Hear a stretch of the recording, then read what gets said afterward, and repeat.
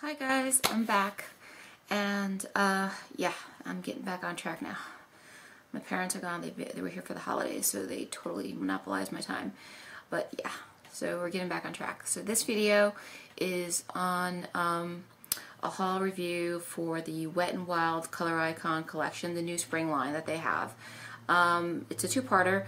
So the first part is the eyeshadows, the second part is a bunch of lipsticks that I picked up and um, the eyeshadows I'm going to do are also, I'm also going to give you dupes for, for them for the MAC eyeshadows, which is going to save you a lot of money, especially if you like the colors that these are dupes for.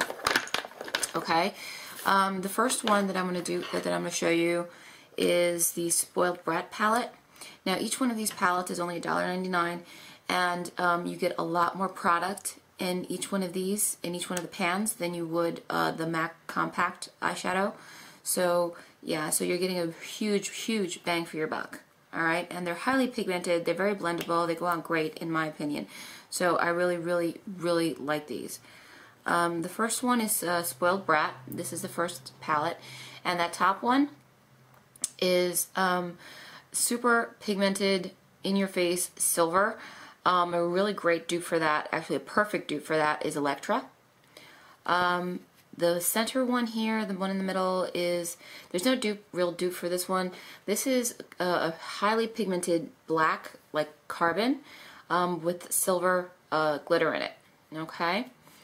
Um, the bottom one here, uh, the dupe for this one is Rani. It's uh, uh, like a hot, really hot pink, like almost like a fuchsia hot pink, kind of.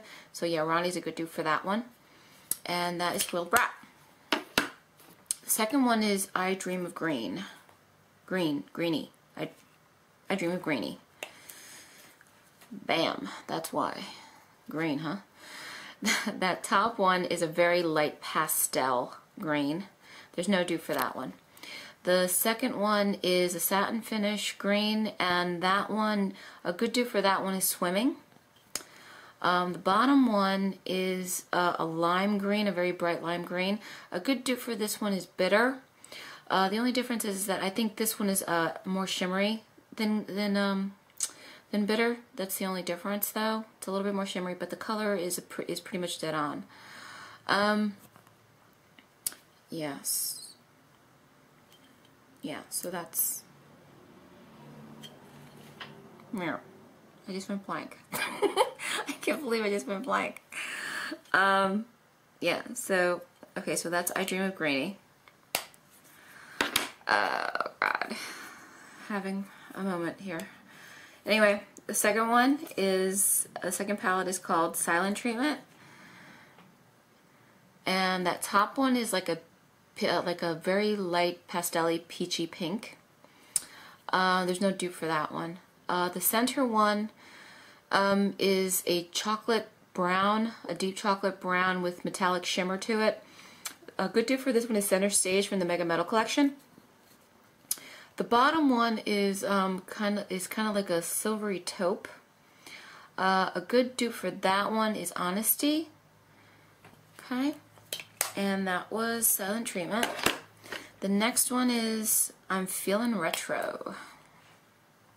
And yeah, you'll see why. Uh, very reminiscent of the disco days.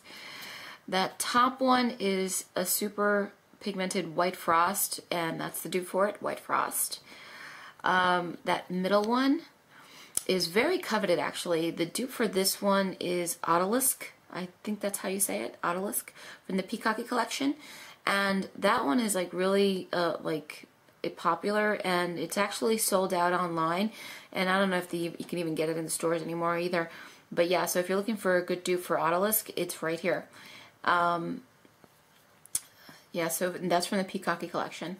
And this bottom one here is kind of funky. It's uh, kind of like uh, fuchsia-y uh, violet um, with a blue bluish undertone to it.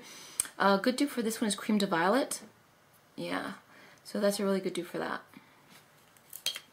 And I know my nails are busted, so I haven't had time to do them, so no comments about that.